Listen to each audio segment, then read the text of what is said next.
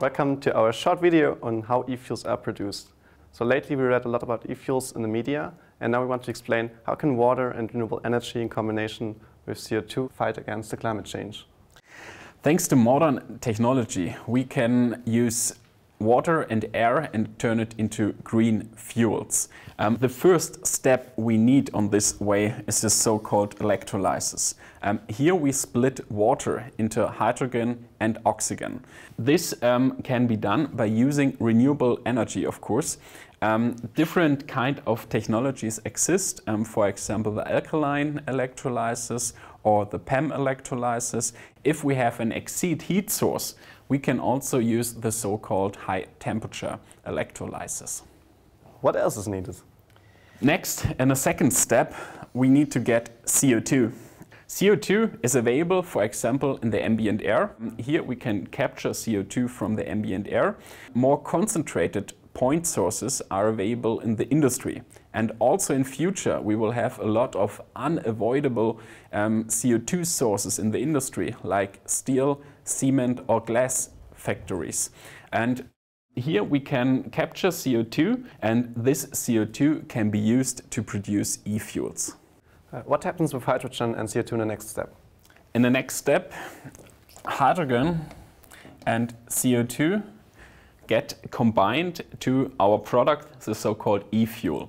Here we have different synthesis routes available. Um, first, we can use the so-called Fischer-Tropsch synthesis, um, which is a well-known chemical process uh, for more than 100 years. Here we always produce a synthetic crude oil, which can be further split in refineries in different fractions of hydrocarbon, for example diesel or kerosene for the aviation or gasoline. A second route is the so-called methanol synthesis. Methanol can be mixed by to, to petrol or it can be further converted in a further step um, to, to 100% gasoline. A third combination is possible if you want to produce gaseous fuels. Um, here you can use the methanation. A fourth route um, is um, needed if you want to produce ammonia via Haber-Bosch synthesis.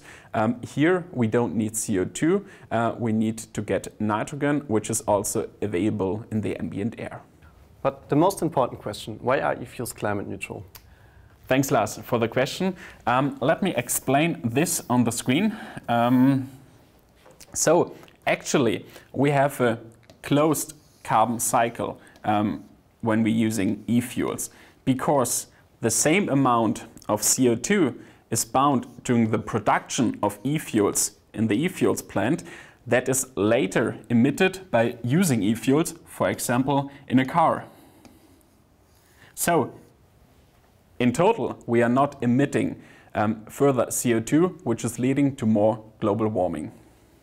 Are e-fuels only a solution for cars? No, of course not. You're absolutely right. Um, this applies also to all kind of applications. For example, e-fuels are used uh, in the aviation, in the maritime sector, in the off-road um, sector, or for example in the chemical industry. Um, we always have in the use phase a closed carbon cycle and are therefore climate neutral. So thanks a lot for this explanation. Now we know how e-fuels are produced. And if you want to find out more, you can go to our website and read more about e-fuels and everything around it.